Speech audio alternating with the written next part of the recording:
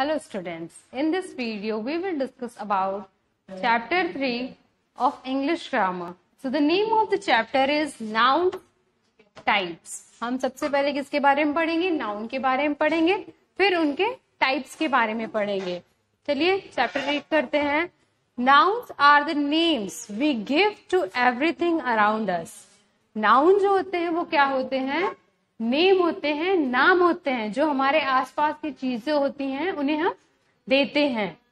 Noun is a part of speech that is use to name a person place thing quality action और an idea noun क्या है? Part of speech है, जो कि use किया जाता है किसी भी इंसान के लिए, किसी भी प्लेस के लिए, किसी भी एनिमल के लिए, किसी भी थिंग के लिए, या कोई क्वालिटी हो, या कोई एक्शन हो, या किसी का कोई आइडिया हो, इन सब चीज़ों के लिए हम क्या यूज़ करते हैं?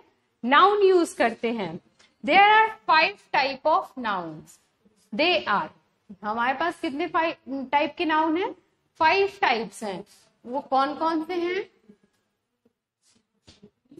सबसे पहला है कॉमन नाउन क्या है हमारा पहला noun common noun second proper noun third collective noun fourth abstract noun and fifth material noun ये सारे हमारे क्या हैं? टाइप्स ऑफ़ नाउन है। चलिए हम एक एक करके इन सभी नाउन के बारे में पढ़ते हैं। ठीक है?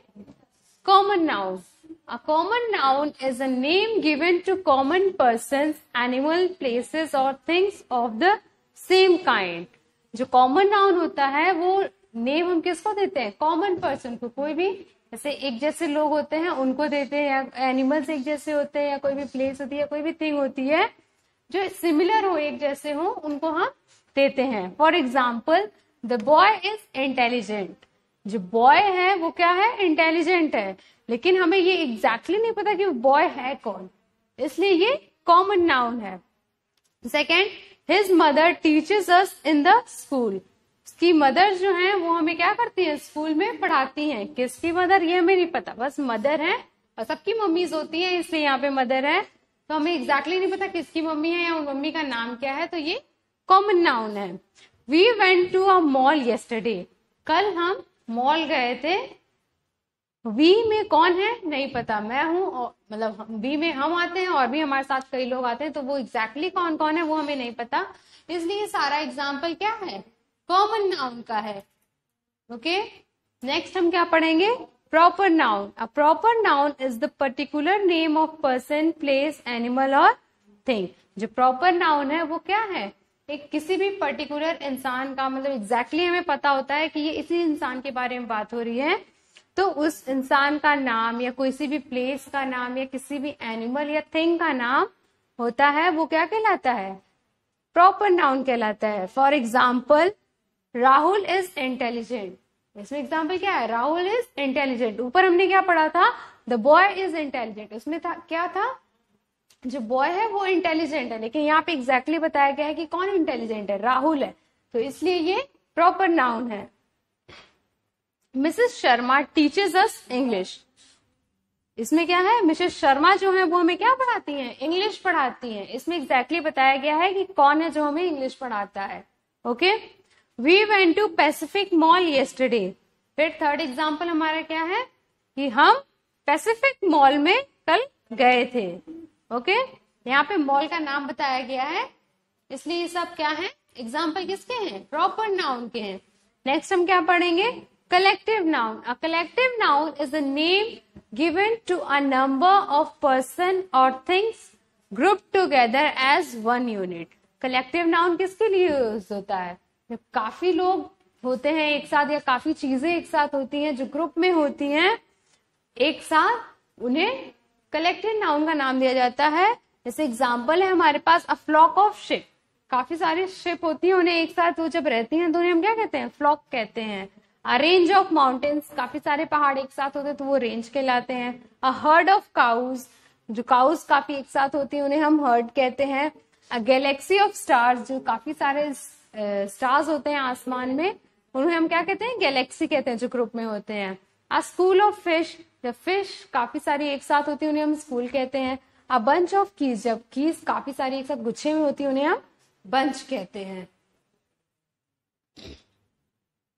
और भी यहाँ पे एग्ज़ाम्पल दिए हुए हैं कॉमन नाउन कलेक्टिव नाउन के। A bouquet of flowers a library of books a pack of cards a colony of ants a brood of chicks an army of soldiers a network of computers a fleet of ships a bask of crocodiles a crew of sailors ये सारे हमारे example किसके हैं? Collective noun के। Next अब हम क्या पढ़ेंगे? Abstract noun abstract noun are the name of some qualities action states feelings और आइडियाज़ हमारा एब्स्ट्रैक्ट नाउन क्या है? उसमें कुछ जो क्वालिटीज होती हैं, जो किसी इंसान की खासियत होती है या उसकी एक्शंस होते हैं या फीलिंग्स आइडियाज़ जो भी चीज़ें होती हैं, वो सारी हमारे किसमें आती हैं? एब्स्ट्रैक्ट नाउन में आती हैं। जैसे एग्ज़ाम्पल है delight jealousy love curiosity honesty kindness beauty ये सारी हमारी क्या है? क्वालिटीज हैं। जैसे जेलस होते हैं किसी से जलते हैं ऑनेस्ट होते हैं, बहुत ईमानदार होते हैं। ब्यूटी मीन्स सुंदर लव मीन्स प्यार, ये सारी जो जो हमारी क्या है क्वालिटीज होती हैं, वो सारी हमारे एब्स्ट्रैक्ट नाउन में आती हैं। जैसे freedom goodness pride hate pain humour excellence independence bravery happiness peace courage and justice ये सारे जो है हमारे एग्ज़ाम्पल किसके हैं? एब्स्ट्रैक्ट नाउन के। नेक्स्ट हमारा क्या है? Material noun a material noun denotes a substance of which the things are made up of और the ingredients the thing has in it जो मटीरियल नाउन होता है, वो क्या होता है? कोई भी एक सामान होता है एग्जैक्टली exactly हम उसके बारे में जानते हैं। जैसे एग्ज़ाम्पल है आयरन जैसे लोहा। वीट मीन्स गेहूँ स्पाइसेस मीन्स मसाले। गोल्ड मीन्स सोना। मड मीन्स मिट्टी। ये सारी जो चीज़ें होती हैं, कोई भी इंग्रेडिएंट होता है, कोई भी पदार्थ होता है उससे रिलेटेड करते हैं। जैसे dew cloth sand cloud tea granite frost sugar rock silver rice stone and platinum ये सारे जो हमारे एग्ज़ाम्पल है, वो किसके हैं? मटेरियल नाउन के हैं। चलिए हम थोड़ी सी एक्सरसाइज देख लेते हैं। टिक द करेक्ट नाउन इसमें क्या करना है हमें? जो करेक्ट नाउन होगा, उसको टिक करना है। जैसे she is wearing a lovely dash इसमें तीन एग्ज़ाम्पल दिए हुए हैं पेंसिल फ्रॉक और पेपर पेंसिल हम पहन नहीं सकते पेपर हम पहन नहीं सकते तो क्या होगा हमारा? करेक्ट आंसर फ्रॉक ऐसे ही हमें ये एक्सरसाइज कंप्लीट करनी है। नेक्स्ट एक्सरसाइज है हमारी circle the proper noun in the sentences given below इसमें क्या करना है? हमें जो प्रॉपर नाउन है, उसको हमें सर्कल करना है। और प्रॉपर नाउन की एक खास बात होती है, वो हमेशा कैपिटल लेटर में होता है। तो इसलिए जहाँ बीच में भी वो हो कोई भी वर्ड कैपिटल में उसको हम क्या करेंगे? सर्कल कर देंगे। जैसे इंडिया वॉन द गेम तो इसमें क्या है proper noun India we are going to Manali तो यहाँ पे क्या हो जाएगा? Manali okay underline the collective noun in the sentences given below इसमें क्या कर रहे हैं हमें जो कलेक्टिव नाउन है, उसे अंडरलाइन करना है। Okay next look at the pictures and write the collective noun in pictures को देखना है और जो इसका कलेक्टिव नाउन होगा, उसे हमें लिखना है। फिर नेक्स्ट क्या है?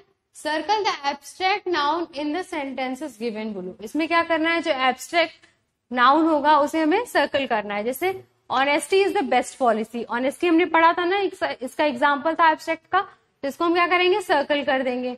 Children need love and freedom love और फ्रीडम दोनों ही हमारे